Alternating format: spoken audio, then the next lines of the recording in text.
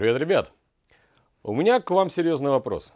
Как вы считаете, какой нож самый лучший нож в мире? Вы можете выбрать вообще все, что угодно. Представьте, вообще любой. Напишите в комментариях, это очень интересно, только выберите один.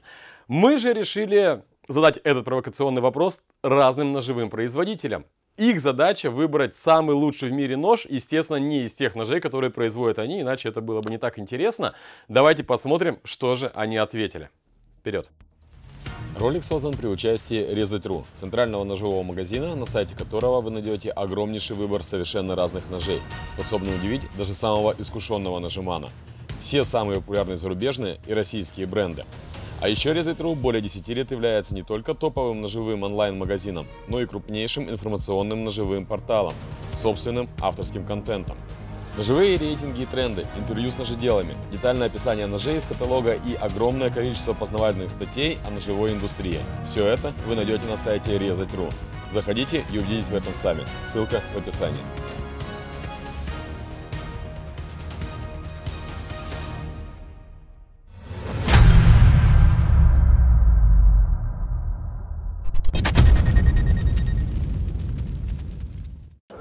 опаньки.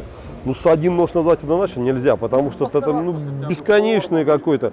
Это я могу чуть-чуть развернутее сказать, да. То есть, когда у меня, конечно, есть свои вкусы в дизайне, я склонен к такому технодизайну, да, но я профессионал и сделаю то, что мне как бы, если закажут, да, там, шорты вареные с капюшоном, пожалуйста, да, там, как говорится. Но когда я, э, конечно, начинал, э, как бы, ножи, ножики рисовать, я, конечно, искал вот всякие эти, ну, интересные какие-то там чужие изделия, и, понятное дело, одно изделие цепляет взгляд, другое нет. И поэтому ну, много очень интересных авторов. То есть там вот в свое время на заре мне очень нравился Кику Масуда, например, да. Вот. А из современных, э, из, вот именно самые интересные дизайны все-таки складные, да. Не складных там сложнее, вот, но тоже можно. Ну вот из современных прекрасен э, Синкевич, да, он же Сидис, белорус, он великолепен, да. Ну, Кан, этот, Каныгин или Кананыгин, как вот я все понял, Каныгин, он иногда загоняется. Ну, тоже интересный, да. Вот. Но мне главное, чтобы человек чувствовал линию. Вот если линия безупречна, как у Сенкевича, у него есть тоже шаблонное решение, да, но это его решение. И там просто вообще не к чему придраться. То есть линия абсолютно. Я это вижу, и это ценно очень. Я большой поклонник американских ножей. Вот. Э, американских ножей э, среднего премиального сегмента, э, который занимается тактическими ножами. И могу перечислить Tops Knives, типа такие. Рэндалл, понятно, но это классика. То есть здесь как бы, здесь уже, знаешь, ничего такого не придумаешь. Это, это те люди, которые уже давно на рынке, и они делают такие ножи, ну, за которыми там, ну, Топс, ладно, это такой более-менее ширпотреб, как бы, а Рэндалл это ножи с историей, за которыми стоят в очередь.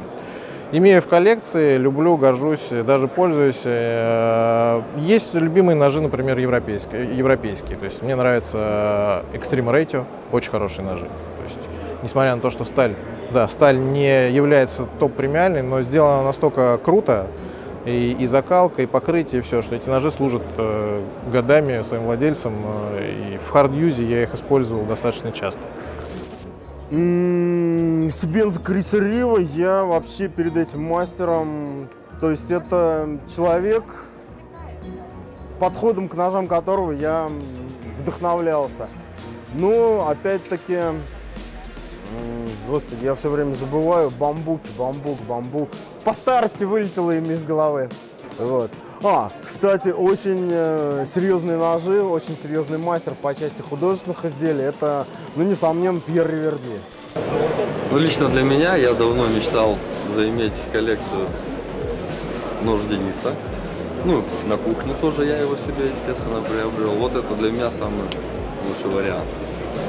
Ну, для меня, я бы, например, если, ну, как бы коллекционированием я еще не дорос, не занимаюсь, но я бы Боба Крамера а я не знаю, мне, скажем так, я не коллекционирую, да, то есть ножи как таковые, в принципе, и не планирую над этим, да, то есть как бы на другие ножи так особо сильно не смотрю, хотя шикарных производителей масса. То есть очень много людей делает, и кастомных мастеров, и производств хороших много. То есть делают классные действительно вот ножи, которые нравятся, да, то есть их много. Вот, и не перечислить так, чтобы сразу. Вот как, как, какой бы я хотел, да я даже не знаю, сложно сказать. Оно вот сегодня нравится одно, завтра другое. Вот если прямо сейчас, что мне нравится, да, а я давно ничего не смотрел. Что мне нравится. Да, мы только что на соседний стенд заходили. там Нет, в соседнем стенде прикольно. ничего. В соседнем стенде там ничего. Вот. Ну, давайте так, вот мне недавно подарили Викс, там какой-то юбилейный. Во-первых, это подарок, приятно, да, э, там, э, ну, штопор, у меня есть штопор на улице, да, там полный фарш, там, там много инструментов, просто, во-первых, это подарочный Викс, во-вторых, я понимаю, что из тиража там миллионы штук, они сделали всего 200 штук именно вот таких, они отличаются, скорее всего, только накладочками, но все равно их 200. И прежде всего, опять же, повторюсь, это подарок. Поэтому вот именно на сегодня, на сейчас, для меня это, наверное, самый дорогой такой вот нож именно. Но э, с точки зрения лучшего практичного ножа, я бы однозначно выбрал какой-нибудь японский нож. И, скорее всего, это был бы э, либо Хаттери, ну, либо Рокстед. Что-то из этого. Если мы говорим про самый красивый нож, для меня это однозначно будут какие-то мозаичные дамаски. И я могу вам сказать так, что лучше э, русских кузнецов, российских кузнецов, ну или так скажем, славянских кузнецов, потому что в Беларуси и Украине тоже есть замечательные мастера. Именно славянская вот э, школа мозаичного Дамаска, на мой взгляд, это лучшие по красоте ножи. Никто в мире не может повторить таких вещей. Ну, я не стесняюсь скажу, что для меня это Леонид Васильев и Влад Матвеев. Уже сложно, раньше было легко, потому что сейчас любимый именно дагер. Но сейчас, да, я подумаю. Ну, из последних, ну, наверное, из моей коллекции то, что у меня есть, я потому что вот там особо сейчас не закупаюсь. Ну, наверное, Спайдерка бы У меня есть э, мой товарищ старший, Ген Прокопенко. Он на подобные вопросы отвечал следующим образом. Он говорил, вы знаете, что я второй ножевщик э, в мире? И когда его спрашивали, а кто же первый? Он говорил, все остальные. Есть же добротные ножи, а есть какие-то революционные решения. Да, а больше того, я вот не знаю такой бренд, который бы меня вот постоянно прям удивлял какими-то своими инновациями, прямо каждую минуту выдавал что-то такое. Вот у всех ребят, даже которые здесь на выставке, вот всегда в жизни есть какие-то прорывы, какие-то интересные решения. И, и, наверное, вот, вот по любому стенду пройди, вспомни историю, и окажется, что каждый из них что-то сделал классное, новое, чем удивил и своих поклонников, и своих коллег.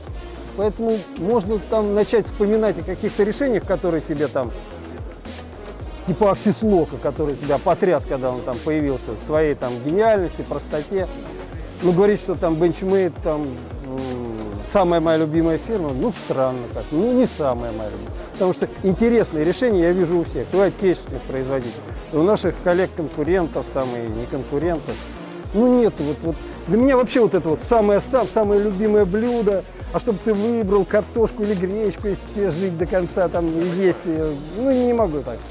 У меня на столе лежит нож, и я его каждый раз, когда беру в руки, у меня слезы на глазах от обиды. Почему это придумал не я? Это Апинель. Э, Вот я, я не знаю, что, с чем это объяснить. Это Апинель из углеродочки, и я считаю, это лучший нож. Ну, определенно это как минимум тот нож, которого у тебя нету в коллекции, но очень-очень хочется. И, скорее всего, его не так-то уж и просто достать. Он и будет самым лучшим для тебя ножом в мире.